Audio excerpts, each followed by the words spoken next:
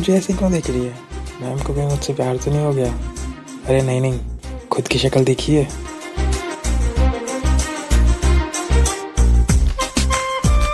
Ma'am कहाँ और तू कहाँ?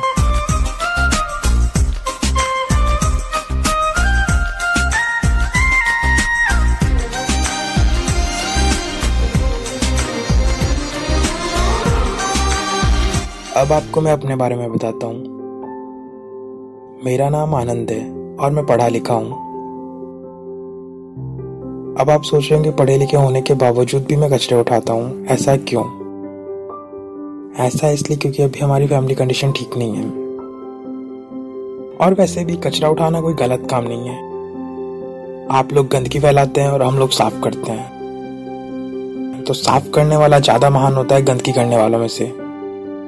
अब आप सोच रहे होंगे वो मोची वाली दुकान किसकी है? वो मेरे पापा की है। और मेरे पापा की अभी तबीयत सही नहीं है। इसलिए उनकी जगह मैं बैठता हूँ।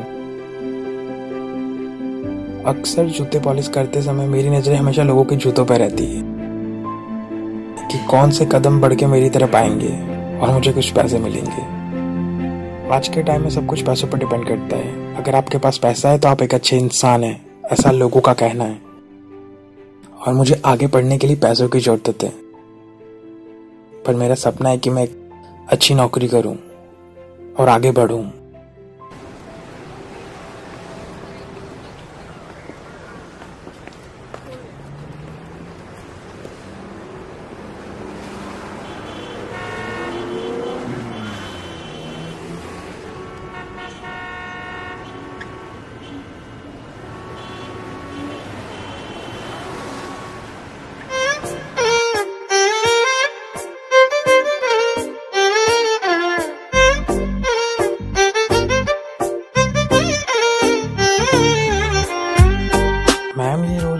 जूते लेके क्यों आ जाती है? कहीं पागल वागल तो नहीं है?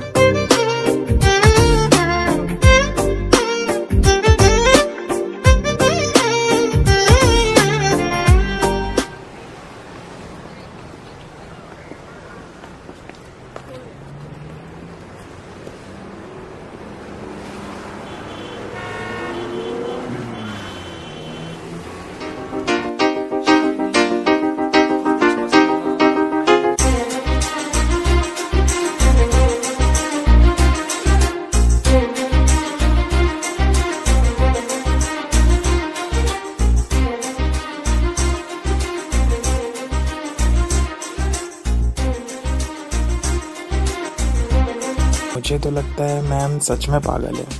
तभी तो रोज रोज एक ही जूते लेके आ जाती है।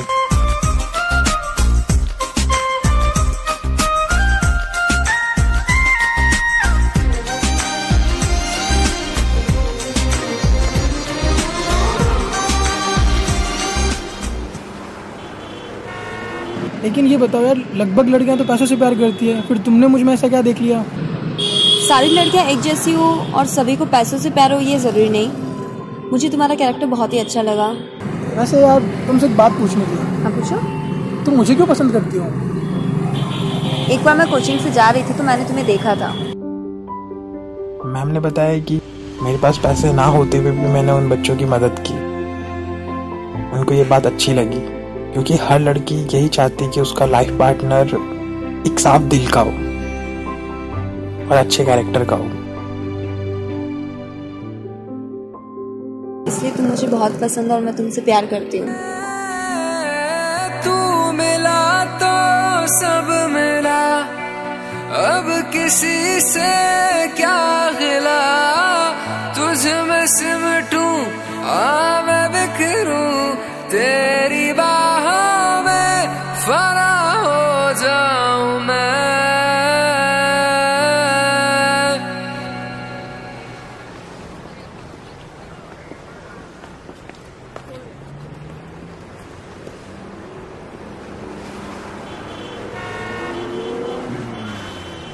आया नहीं तेरा बॉयफ्रेंड अभी तक मिलवाने वाली थी ना? बस पाँच मिनट यार आने ही वाला है। एक बार फ़ोन कर ले हम लेट हो रहे हैं। नहीं यार उसके पास फ़ोन नहीं है। उसने यही का बोला था वो बस आने ही वाला है। फ्रेंड्स मेरा बॉयफ्रेंड आनंद।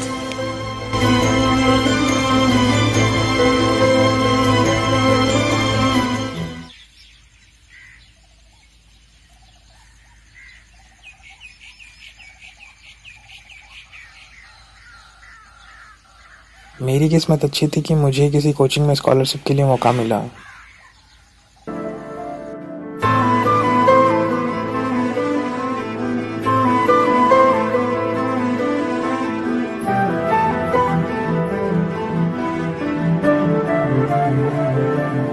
मुझे नहीं पता था जिस कोचिंग में मुझे एडमिशन मिली है स्कॉलरशिप की वजह से, उस कोचिंग में मैम भी बढ़ती है।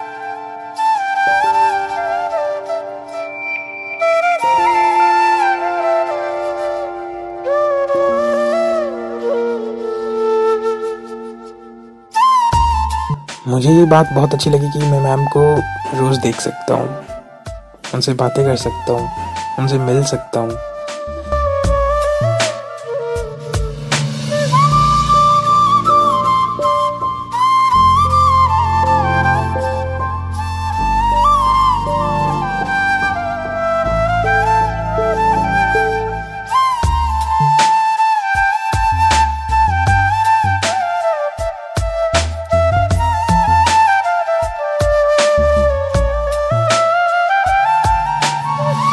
मेरा पढ़ाई से ज़्यादा ध्यान तो मैम पे ही रहता है। बस मैं उन्हें ही देखता रहता हूँ।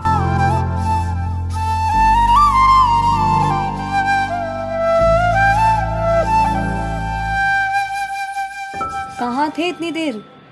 आज हमारा एग्ज़ाम है। कुछ पढ़ वढ़ लिख के आए हो? फेल होना है क्या तुमको? क्लासरूम में तो हमेशा मेरे को ही देखते रहते थे। अब चलो जल्दी।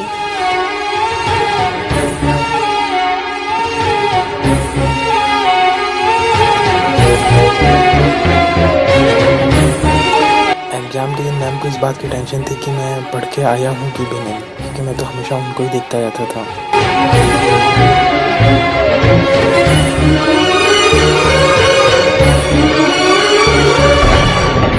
तुम्हें पता तुम कल के एग्ज़ाम में फेल हो चुके हो। तुम सिर्फ़ मुझे देखते रहते हो पढ़ते वढ़ते तो हो नहीं। मेरी फ्रेंड्स मेरा मज़ाक उड़ाती है कि तुम एक कचरे उठाने वाले से प्यार करती हो। आज के बाद तुम मुझे अपनी शक्ल मत दिखाना। ब्रेकअप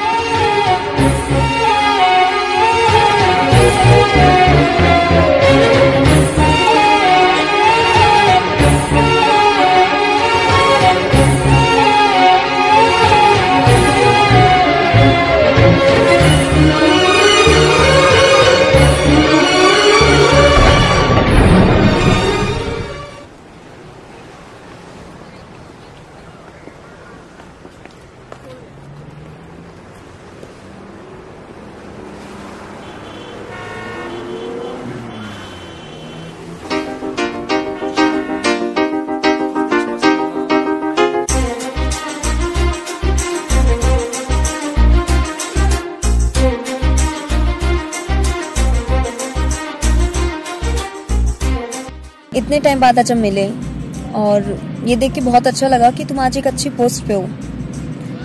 और बताओ लाइफ में क्या चल रहा है तुम्हारे? शादी और कर ली कि अभी भी सिंगल हो? रुचिका मुझे ये बात पता है कि तुमने मुझे क्यों छोड़ा था? तुमने मुझे इसलिए छोड़ा था क्योंकि तुम्हें ये बात पता था कि अगर तुम मेरे साथ रहोगी तो मैं पढ़ाई पे कभी ध्यान नहीं दे पाऊँगा। इसलिए तुमने जानबूझ के मुझसे ब्रेकअप किया ताकि मैं अपने पढ़ाई पे फोकस कर सकूँ। रुचिका आज भी मैं तुमसे उतना ही प्यार करता हूँ जितना मैं उस टाइम करता था। क्या तुम मुझसे शादी करोगी?